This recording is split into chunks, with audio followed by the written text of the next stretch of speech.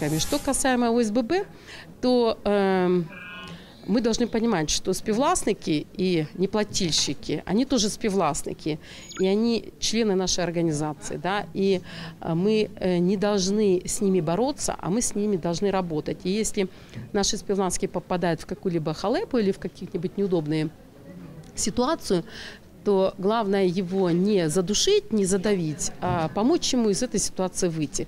Поэтому роль здесь отводится огромная именно громаде э, дома многоквартирного да, в виде ОСББ, которое должно создать такие условия, чтобы співвласник многоквартирного дома жил комфортно или принял решение относительно своей заборгованности. А это именно или вовремя платил, или заключил договор реструктуризации, или отработал на нашем, на, в принципе, какие-то работы в многоквартирном доме. Но если у него там не получается, в принципе, э, тогда уже, ну, каким-либо способом разрешил свой вопрос.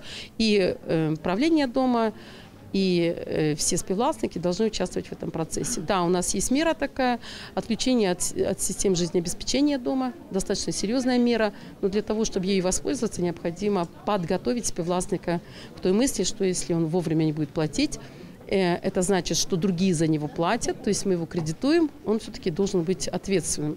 На сьогоднішній день законодавчому це не врегульовано, і це є проблема.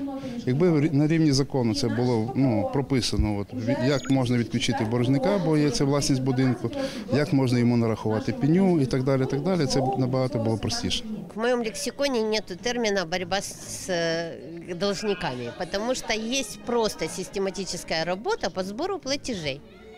И если ты прекращаешь эту систематическую работу, тогда, соответственно, возникают те, у кого период э, возрастает период э, задолженности. Надо понимать, что причинами э, вот этих несвоевременных оплат эти причины бывают разные. И поэтому правление должно ну как, своевременно реагировать на факты неплатежей и анализировать, почему эти неплатежи произошли. Может быть, люди не платят, потому что не понимают, за что они должны платить. То есть они не информированы о решениях общего собрания. А У людей могут быть временные финансовые сложности. В этом случае правление может предложить им, э, как выполнить часть работ в счет э, погашения их э, взноса на содержание совместного имущества. Это могут быть малообеспеченные граждане, которые ну, не инициативные, и поэтому не в состоянии самостоятельно оформить себе э, социальную помощь. Значит, в этом случае по-человечески оказать помощь для того, чтобы люди могли воспользоваться своим правом на получение субсидии. Э, Для всех, э, повторяю, что в при создании ОСББ все социальные гарантии, которые гарантирует э, государство и для льготных категорий, и для малоимущих категорий в плане получения субсидий, все эти социальные гарантии сохраняются.